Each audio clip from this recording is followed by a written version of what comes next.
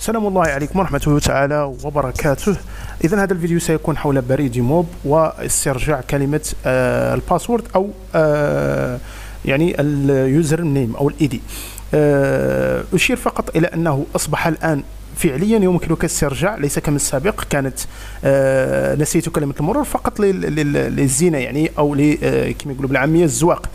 الآن أصبح فعلا يمكنك استرجاع آه، كلمة المرور دون الحاجة إلى الذهاب إلى آه، الآتيام أو دون الحاجة إلى التواصل معهم. أصبح فعلا يمكنك استبدال في أي وقت كلمة المرور إذا نسيتها أو نسيت حتى الإيدي. بالنسبة للإيدي أو رقم الهاتف المربوط بالذهبية المتعلق بالذهبية ليس نفسه هذه إشارة فقط ملاحظة لأن البعض يظن أن عندما تقول له رقم الهاتف الخاص بالبطاقة الذهبية يظن أنه نفسه الذي يصلك فيه آه، ال SMS أو إشعارات الدخول والخروج آه، الأرصدة من الحساب. بعض الأحيان يكون نفسه بعض إذا كنت تستعمل نفس الرقم آه، المربوط فسيكون نفسه. لكن ليس بالضرورة معناها ليس بالضرورة. هذا ماذا أريد؟ أو هذا الذي أريد أن أوضحه. ليس بالضرورة نفس الرقم. المستعمل في بريد هو نفسه المستعمل في آه، الإشعارات. هذه من جهة. ودائما ال ID نفتح التطبيق ال ID الخاص ب الهاتف يعني إذا فتحت حساب جديد في بريد موب أو نسيت اسم المستخدم في الغالب اسم المستخدم هو آه، رقمك يعني الرقم الهاتف المتعلق بالذهبية. تنزع منه الثلاث أرقام الأولى ثلاث أرقام الأولى الصفر والرقمين اللذين بعده. مثلا شخص رقمه 0671 اذا 06 7 كل ثلاث أرقام هذه تحذف و71 آه، اذا يبدأ الرقم من واحد إلى بقية الأرقام. اذا دائما ثلاث الأرقام الأولى محذوفة وهذا هو رقم ال ID. قلت نبدأ استرجاع كلمة المرور. نضغط هنا forgot password لاحظوا نضغط على forgot password هنا. أو آه طبعا الرسالة يقول هل فعلا تريد استرجاع كلمة المرور؟ سيطلب منك هذه الطلبات.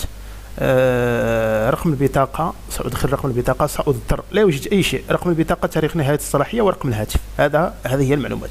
إذا سأدخلها وأضطر إلى إخفاء هذه المعلومات. سأدخل المعلومات. الأول رقم البطاقة الثاني نهاية صلاحية البطاقة وأخيرا الهاتف. سأدخل هذه المعلومات.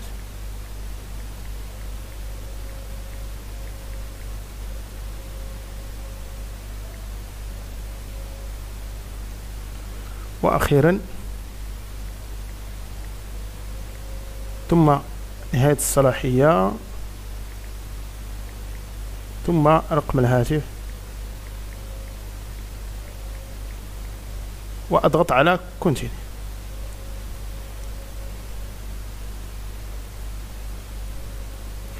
أه سيأتيني رسالة نعم تحمل كود أهو أهو الكود.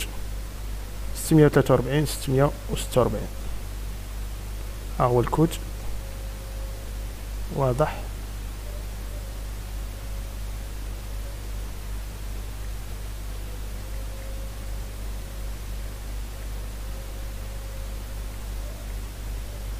فيه ستة أرقام ثم نضغط كونتي.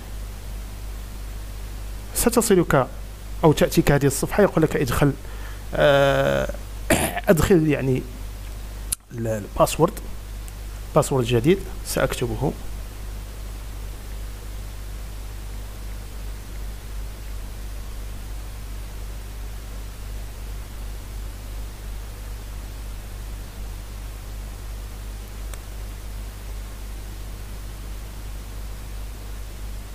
وفي نفس الوقت تحفظه اضغط على continue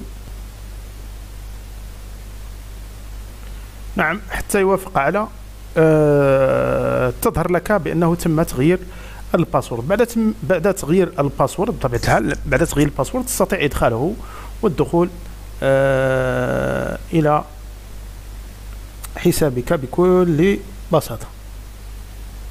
اذا كانت هذه هي طريقة آه استبدال كلمة المرور. ينصح الخبراء اليابانيين باتخاذ الإجراءات التالية.